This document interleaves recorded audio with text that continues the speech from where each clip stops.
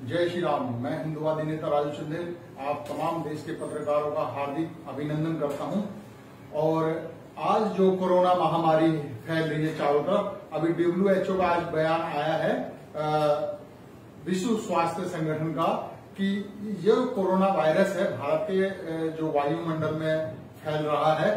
तो जब अगर डब्ल्यूएचओ इस बात को कह रहा है तो मैं भी, मैंने अभी आपके माध्यम से बताना चाहता हूँ मान्य केंद्रीय मंत्री हमारे जो रक्षा मंत्री हैं, श्री राजनाथ सिंह जी, उनको पत्र लिखा है और मैंने उनसे कहा है और रिक्वेस्ट की है कि आप जो ये जैसा डब्ल्यू एच ओ स्वास्थ्य विभाग बता रहा है कि वायुमंडल में है कोरोना वायरस फैल रहा है तो क्यों ना हमारे पास इतने संसाधन हैं चिनुक हेलीकॉप्टर हैं और भी बहुत सी सुविधाएँ हैं हमारे पास तो जो दवाइयाँ हैं, कीटनाशक, जैसे कि एंटीवायरस दवाइयों का छिड़काव कर रहे हैं गली मोहल्ले में हेलीकॉप्टर के द्वारा क्यों ना इन दवाइयों का छिड़काव किया जाए?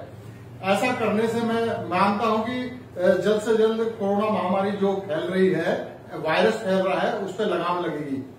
तो मान्य राजनाथ सिंह जी, हमारे पास संसाधन बहुत है, एक प्रयोग करके देखिए अगर वायुमंडल में हवाई जहाज़ हेलीकॉप्टर के द्वारा छिड़काव किया जाता है हमारे जम्मू कश्मीर में, दिल्ली में और महाराष्ट्र में। सबसे ज़्यादा यहाँ कोरोना फैल रहा है।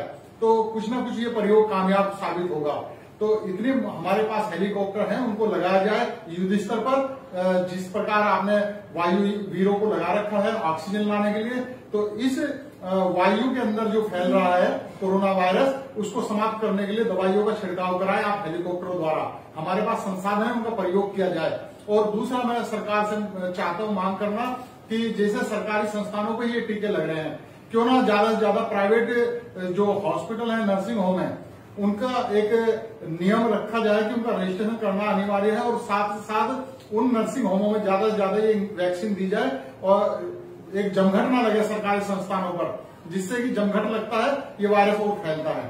तो प्राइवेट नर्सिंग होमों में जो ये इंजेक्शन लगेगा तो बहुत सुविधा होगी और जल्द से जल्द इस बीमारी पर काबू पाने में हम लोगों को कामयाबी मिलेगी। तो बस यही मैं चाहता हूँ कि सरकार से कि प्राइवेट नर्सिंग होमों को भी आ, के माध्यम से भी इन वैक्सीन को लगाने जाने की प्रक्रिया बहुत तेज़ी से की जाए। जय श्री राम।